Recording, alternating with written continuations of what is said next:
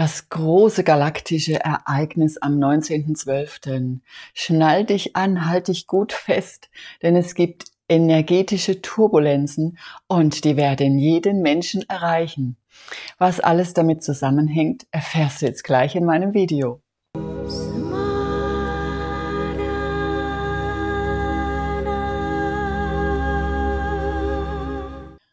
Für alle, die mich noch nicht kennen, mein Name ist Monika Neriana Kardinal. Ich bin das Hauptmedium der Smarana Gruppe und wir sind in Österreich, Deutschland und der Schweiz vertreten.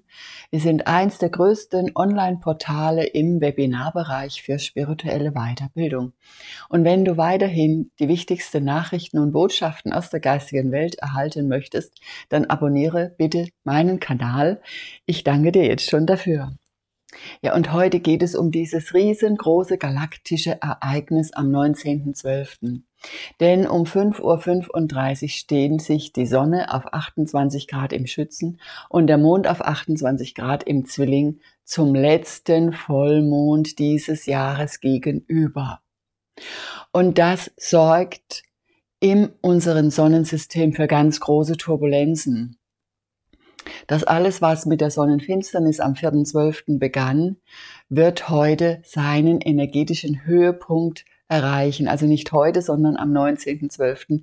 diesen energetischen Höhepunkt erreichen. Und es geht heiß her, ihr Lieben. Diese Zeit ist ganz wichtig für uns, denn es können Dinge geschehen, mit denen wir überhaupt nicht gerechnet haben. Es können einfach unvorhergesehene Ereignisse, Turbulenzen hervorrufen, die uns alles, was wir bisher so an Glaubenssätzen angehäuft hatten, alles über den Haufen werfen. Es ist also mit sehr starken Energien zu rechnen, mit Turbulenzen sozusagen. Und so kann es sein, dass Regelungen, die bis jetzt okay waren, auf einmal umgeworfen werden und neu definiert werden. So zum Beispiel in Niedersachsen, wo das Gericht gegen die 2G-Regelung entschieden hat und jetzt wieder die 3G-Regelung in allen Geschäften gilt. Das ist ein Zeichen für mich, dass die galaktische Energie aus dem Zentrum der Galaxis, ich, ich stehe mal auf, ich zeige euch mal, was ich damit meine, Schaut mal, hier seht ihr ähm, diesen Kreis. Das ist für mich so das Licht aus dem galaktischen Zentrum. Und dieses Licht, diese Kraft, die wirkt im Moment auf uns alle ein. Die geht, die berührt jeden Menschen, egal welche Stellung er hat. Also die berührt auch unsere Politiker. Und das ist so eine Wende, Energie, eine Energie, die Neues bringt und natürlich sehr turbulent sein wird. Wir wissen nicht, was alles daraus entstehen kann, aber ein sehr gutes Vorzeichen ist jetzt das, was in Niedersachsen geschah, ihr Lieben. Diese Ereignisse, die geschehen können, man kann sie auch so erklären, sind teilweise für uns so, als wären sie nicht von dieser Welt. Das galaktische Zentrum hat die Eigenschaft oder das Niveau oder Bereiche zusammen zu verbinden und zu vermischen, so dass daraus etwas ganz Neues entsteht und wir damit überhaupt nicht gerechnet hätten. Das kann uns also noch viele Überraschungen bringen. Es ist eine sehr, sehr, sehr aufregende Zeit und wir sollten unsere Energie jetzt dann auch in die optimistischen Vorstellungen hineingeben, dass sich Dinge ereignen können, auf die wir schon lange gehofft haben oder an die wir noch gar nicht gedacht haben. Also alles das ist jetzt an dem Vollmond möglich. Und wie ihr wisst, die Energien wirken ja auch schon immer ein bisschen vorher und ein bisschen nachher. Wir werden natürlich auf jeden Fall eine tiefgehende Meditation machen, um in diese Energie richtig hineinzukommen. Und ich werde sie ja auch kanalisieren, so dass du, wenn du dieses Video später anschaust, immer noch mit genau den gleichen Energien in Berührung kommst, wie wenn du jetzt aktuell dabei bist. Also es ist einfach eine ganz große Chance und eine tolle Möglichkeit, die jetzt vom Universum durch die Sternenkonstellationen in der Astrologie sich ergeben, wird diese große Energie frei die ganz viel Neues bringen kann. Und deswegen schnallt euch an, es können Dinge passieren, an die ihr nie gedacht habt. Also auch für euch privat im privaten Bereich kann, können ganz neue Dinge sich auf einmal auftun und ihr seid richtig happy darüber. Ihr seid richtig, wow, jetzt kann ich losgehen. Jetzt zeigt sich mir dieser Weg, auf den ich die ganze Zeit gewartet habe. Oder jetzt löst sich diese, diese Aussichtslosigkeit plötzlich auf und ihr erkennt, was ihr als nächstes tun könnt. Also das alles bringt uns dieser Vollmond, der letzte Vollmond in diesem Jahr. Und diese Energie sollten wir unbedingt nutzen, denn sie ist ja für uns eine Hilfestellung der geistigen Welt. Sie ist auch etwas, was in uns die Dinge, die schon so alt sind und die so fest sitzen, die diese Dinge lösen kann. Und von daher sollten wir auch mal in unser Inneres schauen und gucken, was ist für mich persönlich jetzt ähm, das Wichtigste, wo sind alte Dinge, die ich nicht mehr brauche. Denn, und das dürft ihr nicht vergessen, wenn jeder für sich selbst aufräumt in seinem Innersten dann beginnt sich auch das Äußere aufzuräumen. Das ist dieses kosmische Gesetz, so wie im Innen, so auch im Außen. Also beginnen wir doch jetzt am besten mal alle selbst im Inneren aufzuräumen, um dann dem Außen zu ermöglichen, auch aufzuräumen und in eine gute Schwingung hineinzukommen. Du könntest jetzt für dich selbst schauen, wie oft plagen mich Zweifel. Zweifel oder Sorgen. Zum Beispiel auf einer Skala von eins bis zehn. Da kannst du einfach mal gucken. Und dann solltest du auch noch schauen, bin ich mehr im Fühlen oder bin ich mehr im Denken? Was bin ich für ein Mensch? Ein Kopfmensch oder ein Gefühlsmensch? Und wie fälle ich meine Entscheidungen? Von der Intuition her, vom Denken, vom scharfen Überlegen oder einfach so aus dem Herzen heraus? Oder dann gibt es auch noch etwas, was du mal prüfen könntest. Bist du ironisch? Sendest du also, wenn du was sprichst, so doppelte Botschaften? Oder sind deine Worte immer ganz klar, dass da keine Ironie dahinter steckt? Ähm, und dann kommt das Geistige, wo du dir überlegst, nehme ich denn eigentlich auch schon Botschaften wahr aus der geistigen Welt? Ist da irgendwas, was mich äh, also erreicht? Und wie beschreibst du deine Art zu kommunizieren? Gibt es ja Möglichkeiten, du sprichst aus dem Halschakra heraus, aus dem Herzchakra oder aus dem Bauchchakra. Wie kommunizierst du meistens, wenn du nicht dran denkst, sondern wenn es ganz automatisch kommt? Das gibt ganz wichtige Rückschlüsse auf deine Kommunikation. Und vielleicht solltest du dann den Fokus darauf legen, über dein Herzchakra zu sprechen, weil da fließt die Liebe und das Geben und Nehmen ist damit ausgeglichen, wäre eine Möglichkeit. Und ähm, womit lenkst du dich denn am liebsten ab? Was, was machst du, um dich abzulenken, um einfach jetzt mal diesem Gedankenstress einfach zu entgehen? Was tust du da? Hörst du Musik? Schaust du Filme? Liest du ein Buch? Gibt ja verschiedene Möglichkeiten. Und wie wichtig ist dir Humor? Humor ist ja, wenn man trotzdem lacht, kann man so sagen. Wie ist es bei dir mit dem Humor? Hast du noch Humor oder bist du vollkommen ja gestresst und äh, verstehst keinen Spaß? Möglich gibt es, möglich ist das ja auch. Es gibt also alle möglichen Situationen. Und gibt es etwas, was dich abhält zu meditieren? Ist da was, wo du denkst, ach, mache ich später und dann kommst du nie dazu? Meistens ist es ja der Verstand, da solltest du einfach mal gucken, was der Verstand dazu sagt, ob bei dir es da eine Blockade gibt. Meditieren ist so etwas, um sich selbst zu finden. Meditieren ist etwas, um seinen Geist zu öffnen und sich in der Energie erhöhen zu lassen. Das ist ja so der Eintritt in die 5D in die fünfte Dimension. Und es gibt auch noch etwas, was ihr vielleicht euch mal überlegen solltet. Prüft ihr auch das, was euch gesagt wird, Aufrichtigkeit. Oder nehmt ihr alles an, was man euch so erzählt? Das solltet ihr nach eurer eigenen Wahrheit mal so ein bisschen gucken, was ist für euch die eigene Wahrheit, was ist für euch wichtig oder glaubt ihr alles? Also in, ob ihr etwas hinterfragt ob, oder ob ihr es einfach so annehmt. Diese Fragen sollten wir uns heute alle stellen und vielleicht dann auch noch das aktuelle Thema, die Spaltung der Gesellschaft. Macht das was mit dir? Bist du da auch davon betroffen? Wehrst du dich dagegen? Wie ist deine eigene Meinung zu der Spaltung dazu?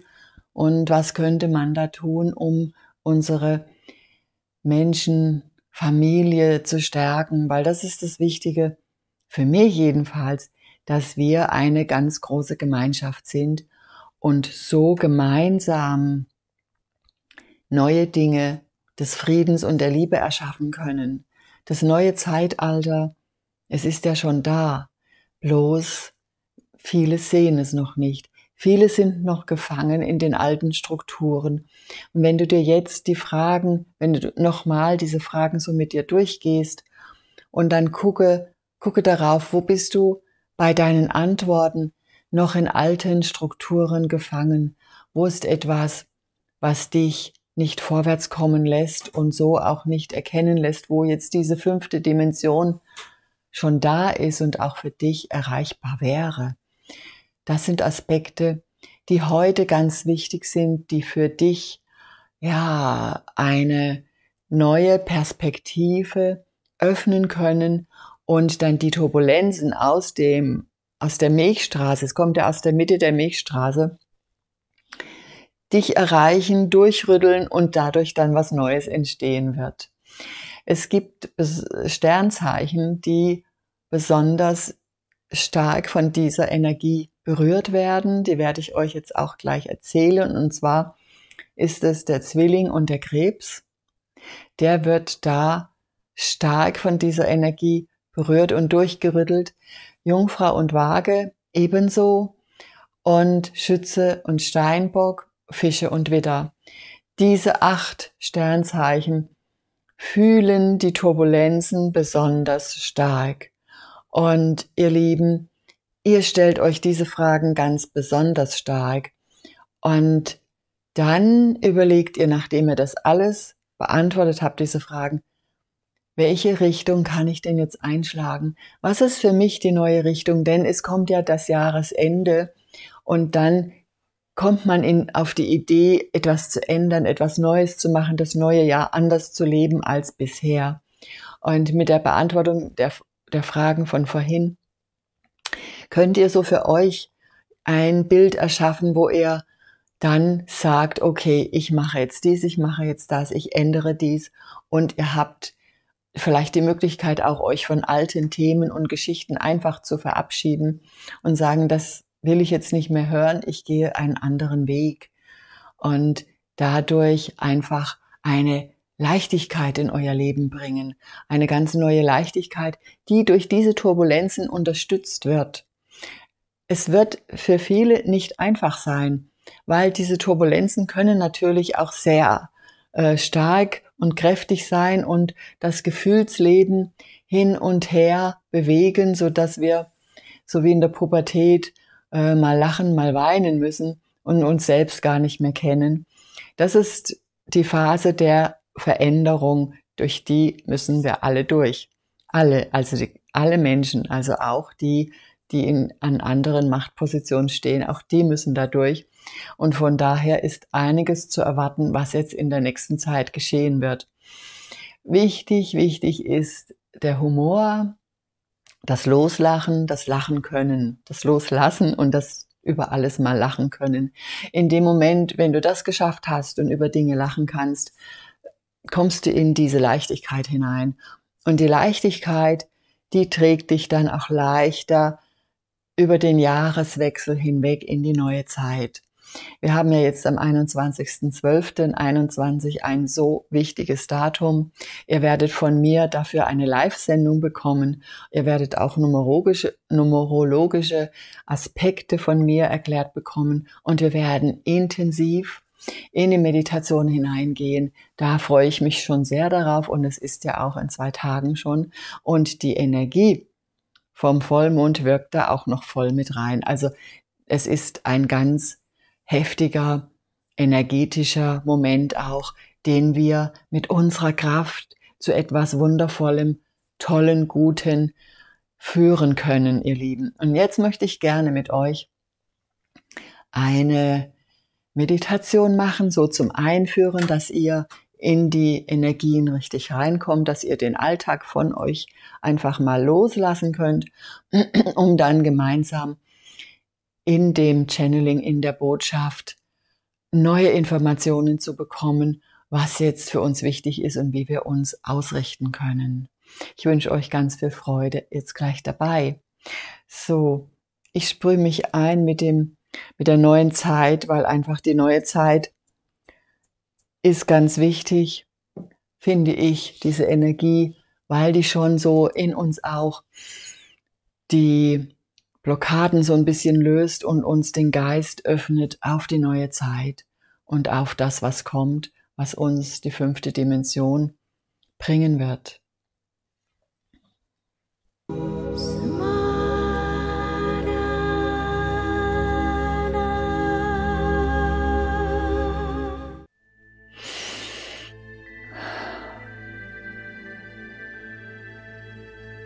Geliebter Mensch, geliebter Herzensmensch, ihr lieben, lichtvollen Wesen, mit großer Freude begrüße ich euch heute hier in diesem Moment.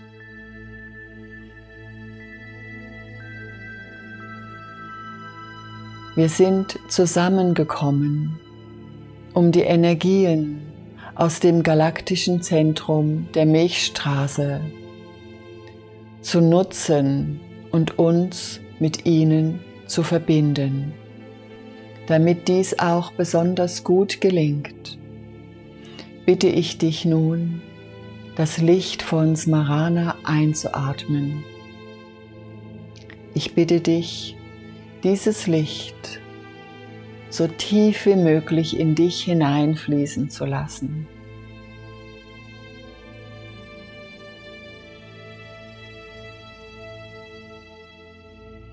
Und umso tiefer dieses Licht dich berühren darf, umso mehr wird sich deine Seele und dein Herz öffnen. Umso mehr wirst du nun gleich zu strahlen beginnen und deine Leuchtkraft wird sich erheben. Deine ganze Energie ist bereit, sich zu erhöhen und die Botschaft zu empfangen, welche jetzt gleich zu dir kommen wird.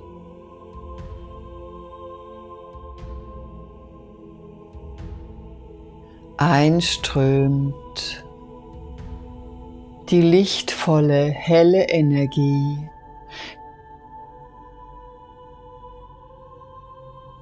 der Hüter der Galaxien und die Kraft des Lichtes wird dich berühren. Du wundervolles Licht, inkarniert in dieser Zeit auf der Erde, trägst du eine Aufgabe. Und mit den Energien aus dem Zentrum der Milchstraße deines Universums haben wir die Wächter der Galaxien heute für dich etwas vorbereitet.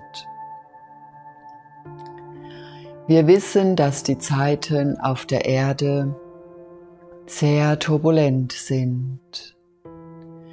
Wir wissen aber auch, dass du in deinem Herzen eine gewisse Stärke trägst. Diese Stärke werden wir mit der Energie, mit dem hellen Licht aus der Milchstraße verbinden, um dir zu ermöglichen, deine eigenen Schatten zu sehen und diese in Licht aufzulösen.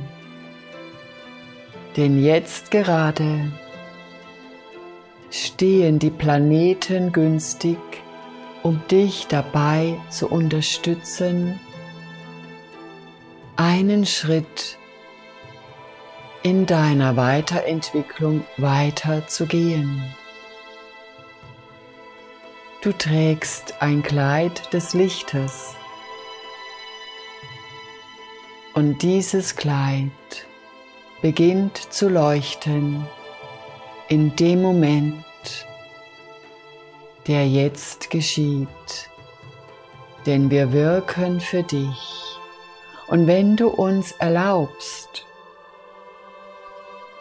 deine Seele und dein Licht in das Zentrum der Milchstraße, in dieses helle Licht hineinzutragen, dann gib uns bitte ein inneres Ja.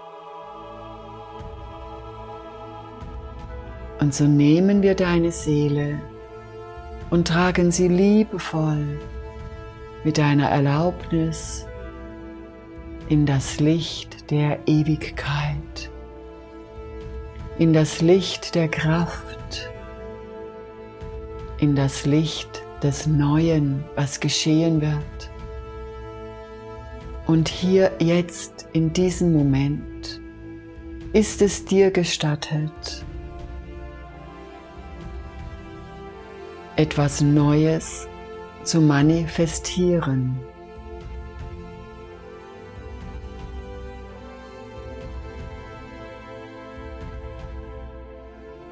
Vielleicht erhältst du eine Vision, Bilder, Farben oder sogar eine Botschaft, währenddessen wir nun Altes lösen und das Licht des Neuen in dir hineinsenden.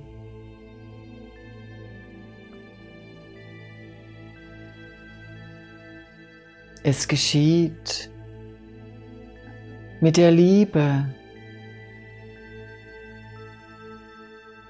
der unendlichen, vollkommenen Liebe des Alleinen.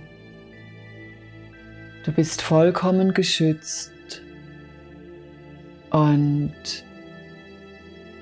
deine Aura wird ausgedehnt, wenn du es möchtest. Sie wird gereinigt und ausgedehnt. Wir tragen das Schöne und die Leichtigkeit zu dir.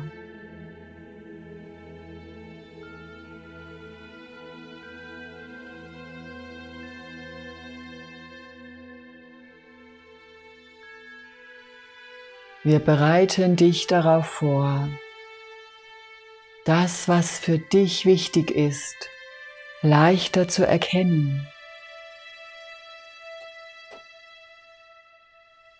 Wir unterstützen deine Seele, die Türen zu öffnen,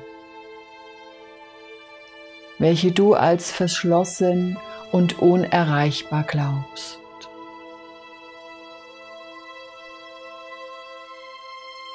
Wir übergeben dir Energien als Chance und Schritt für ein neues Leben.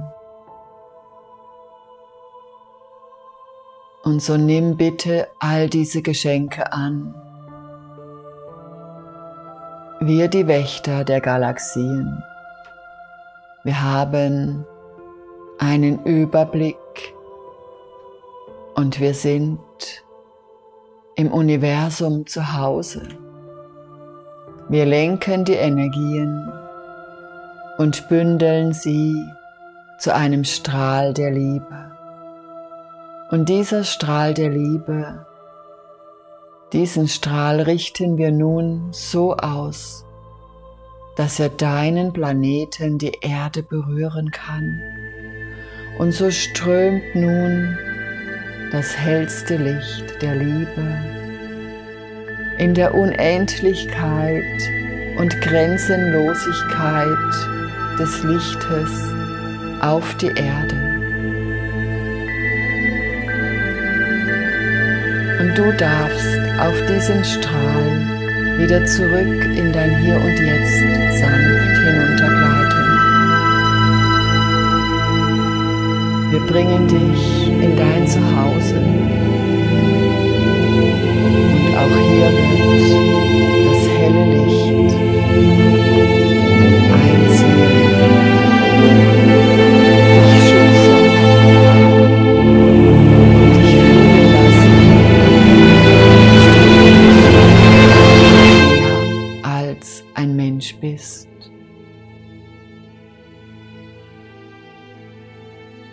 Wir danken dir sehr für deine Liebe und für dein Licht.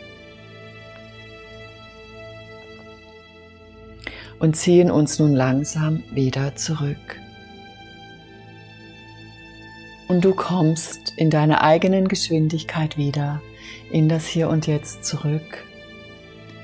Bewegst Hände und Füße, öffnest die Augen und bist wieder ganz hier.